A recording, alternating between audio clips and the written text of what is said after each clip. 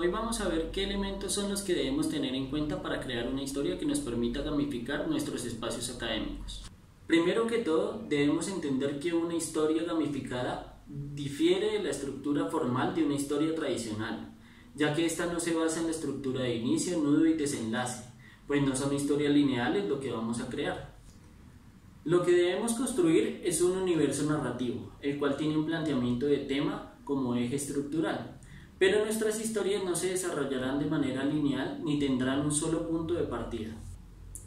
A partir del planteamiento de tema, cada uno de los participantes que se involucre empezará a realizar la expansión del universo narrativo recorriendo su propio camino.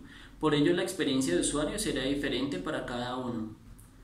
El planteamiento de tema se puede establecer por un interés particular que se quiera abordar desde el espacio académico, o también puede surgir por intereses comunes entre los estudiantes y el profesor, aunque lo más recomendado es establecer una pregunta orientadora que le permita a los estudiantes comprender desde su contexto los temas que se traten en el espacio académico.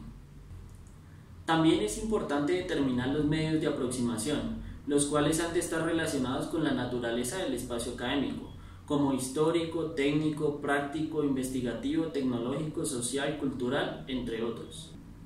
De igual manera, se deben determinar las dimensiones en las que se aplican los conocimientos y saberes. Estos pueden estar relacionados con un público objetivo, con un contexto, con un fenómeno, una situación o con una temática. En medio de estos procesos se encontrarán los temas del espacio académico, los cuales les brindarán las herramientas para sortear los desafíos que vayan apareciendo en el camino y permitirá que el estudiante realice su propia búsqueda en esta aventura. En la siguiente lección veremos cómo se estructura un espacio académico bajo este método.